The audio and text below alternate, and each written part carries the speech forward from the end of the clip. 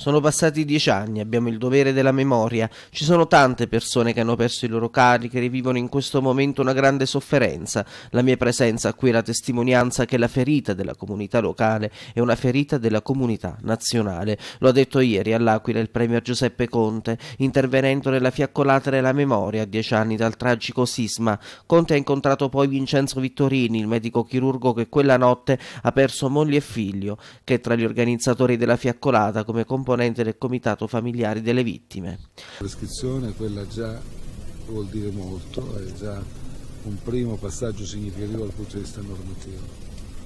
Dico anche la verità, un altro intervento che ritengo significativo in questa direzione è anche il piano nazionale per la messa in sicurezza del territorio contro i rischi del dissesto idrogeologici, contro i rischi sismici.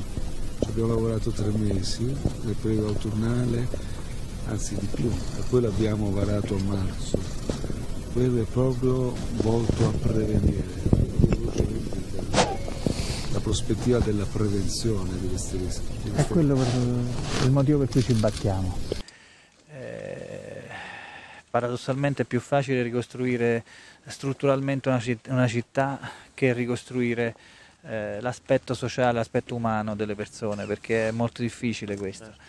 Eh, però, però, se le comunità, eh, tutte, eh, partendo dal, dal, da una tragedia come l'Aquila o dalle altre che le ho detto prima, eh, si facessero tutte unite per combattere una battaglia di civiltà, bene, forse eh, mitigheremmo le, le, tragedie che probabilmente eh, continueranno ad accadere.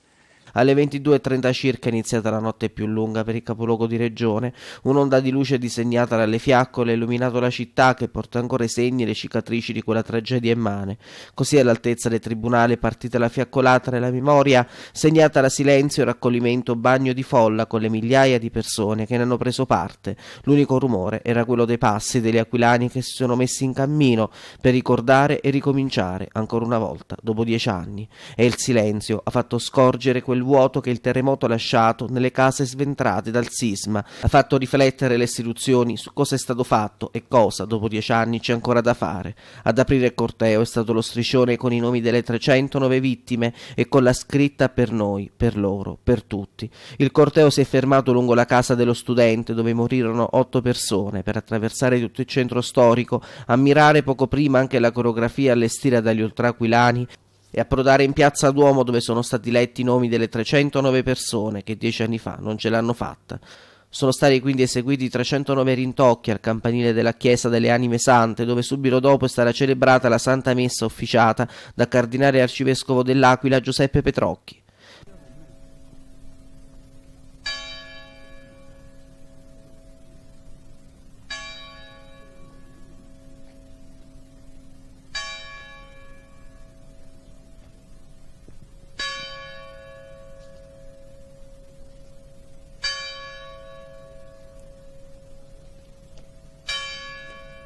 Massiccia è stata la presenza delle istituzioni guidate da Premier Conte e dal Presidente della Regione Abruzzo Marco Marsiglio, ma c'era anche il Sindaco Pierluigi Biondi, l'ex Massimo Cialente, la deputata ed ex Presidente della provincia Stefania Pezzopane, il Segretario Nazionale del PD Nicola Zingaretti, la Senatrice Gabriela Di Girolamo, la Consigliera regionale Antonietta Laporta e a rappresentare il Comune di Sulmona la delegazione composta da Luigi Biaggi, Vice Sindaco, Katia Di Marzio, Presidente del Consiglio, Elisabetta Bianchi, Consigliere.